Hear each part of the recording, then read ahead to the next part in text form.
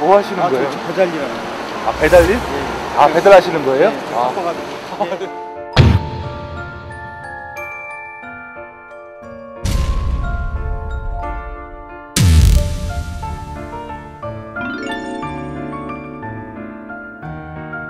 바쁘시다면서 지금 뭘 적고 계신 거예요? 뭐 좀 하고 있어요.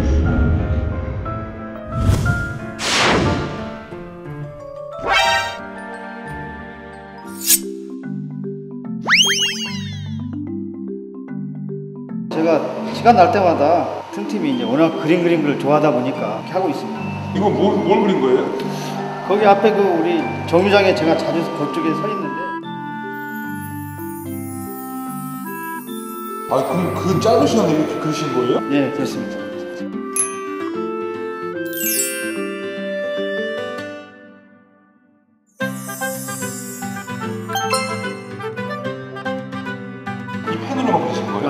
저는 펜으로만 그려요.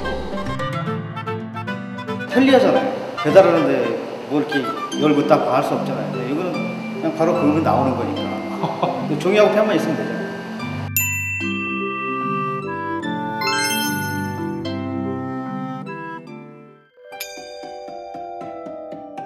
받아왔어. 배달이 이랬는데 왜 이제요? 배달이 이랬는데 지금 우리 가는 식당이라고.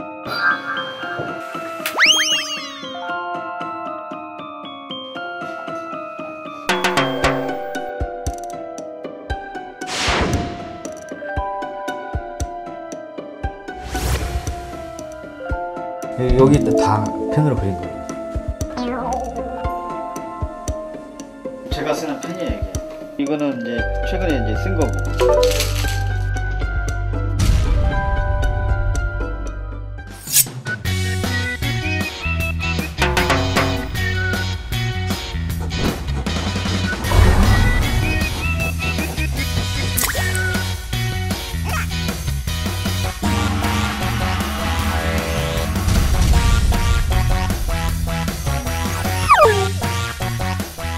펜이 한 선으로 그어서 여러 선이 쌓여가지고 중첩돼가지고 중간 맛도 낼 수 있고 아주 세부적인 묘사 이런 것도 굉장히 가능하거든요.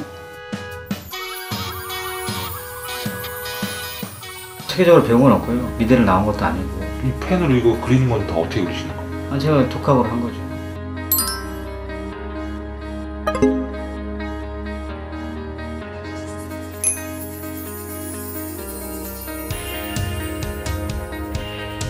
손님들하고 잠- 잠깐 잠깐 그 사이사이에 조각 그림을 그리기 시작했거든요. 물감 같은 경우는 공간 제약도 받고 그러니까 그때그때 그리다가 멈춰도 바로 그 다음에 이어서 그릴 수가 있잖아요.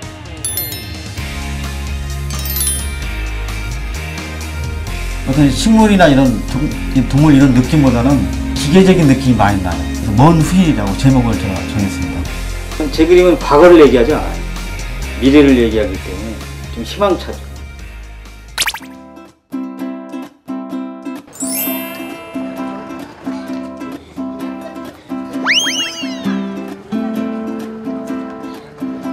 이거 똑같아. 세련된 것 같아요. 멋있어요.